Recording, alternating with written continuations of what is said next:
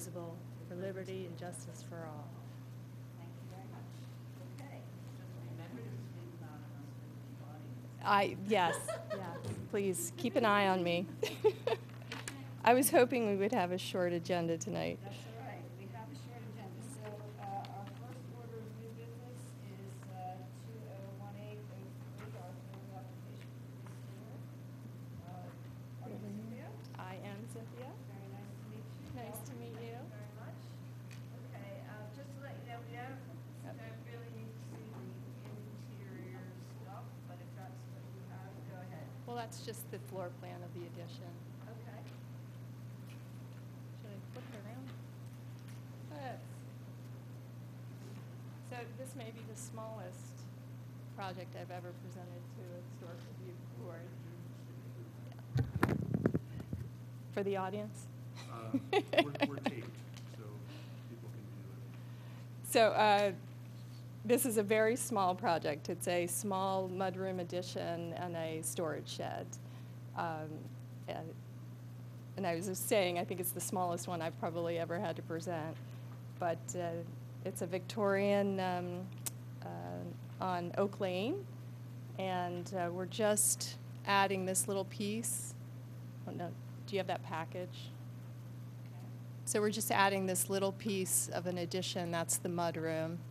And then this little piece here is the storage shed off of it. And so this is the existing, and then this is the addition. And that's the one side elevation. Yes, if you have the um, site plan, you can see the back corner.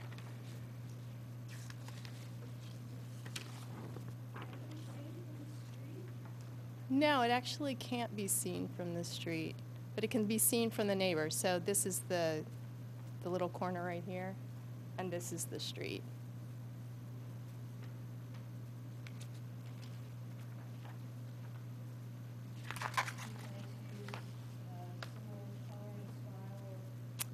Yep, we're going to match this, there's an existing window here, and then we're going to match it with a new window, and we'll just match all the detailing and the siding. And then the rear elevation is the storage shed, that's this sloped piece off the back here.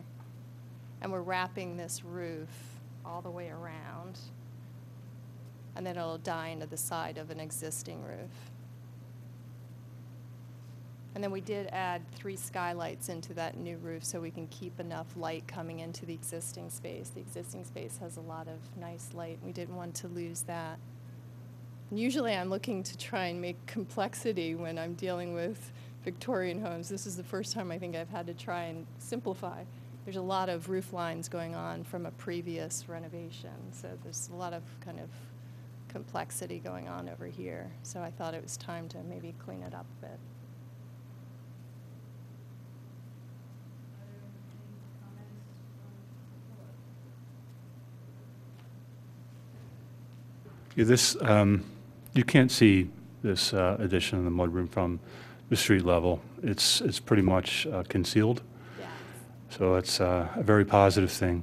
Also, this particular type of house um, was built like circa 1885, 1889-ish. For all And of, I think our, uh, my client found the listing for, how many, seven thousand dollars? Yes. Okay. Yeah, um, that's what I was just going to say. It's um, a Bruin Lodge, um, a type of design uh, of a house from an, an architect, uh, the Price Brothers. Right. So it was like a standard type of cottage at the time when um, Wayne was a vacation spot in that regard. So there's like a few of them there, I think, on that street too. Mhm, Yep, I think So- there are four or five of them on that street alone. Okay. All right. Um, that's the only comment that I had. Thank you. Thanks. Could I have a motion to approve a certificate of appropriateness?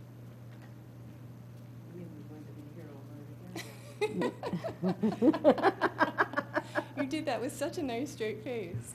I'll recommend a certificate of appropriateness. Thank you. I second. Uh, All those in favor? Okay, passes unanimously. Thank you. I feel badly bringing you in. Oh, sometimes you don't want to be No, that's true. Oh, no, I know, I know. Enjoy. Thank you, appreciate it. Thank you. What was the exact building David Beard, as the house, do you know? Do you know? Eight eighty-five, eight It had to be in the net. I'm thinking it it would probably be between eighteen ninety-five and nineteen something, but I might, I could easily be wrong. I'm only thinking that they are now starting to try to make a Palladian windows and move from opposite sort of Actually, imitation.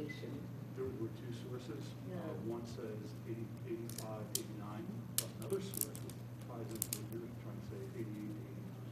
So it's a little bit more towards. We do actually look But things up. just starting to get into. Right, right. Well, and it all starts to blend at certain points. I, I use the term inspired. Yeah. Thank you. Well, thank you for, uh, thank you for your thoughtfulness in making sure it blends in with what the rest of the house looks like. Uh, We'll now move on to uh, the order of old business, which is my report on the activities for the new HARB ordinance.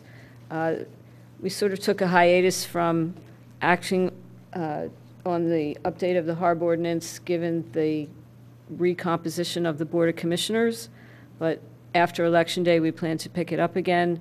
We're also planning to uh, have a meeting with township officials to develop a protocol for the notification program. I got tired of waiting to hear from them, so I'm asking them again for a meeting. And that's where we are with the ordinance update. If you have any questions, you can email me or let me know what your thoughts are. Thank you.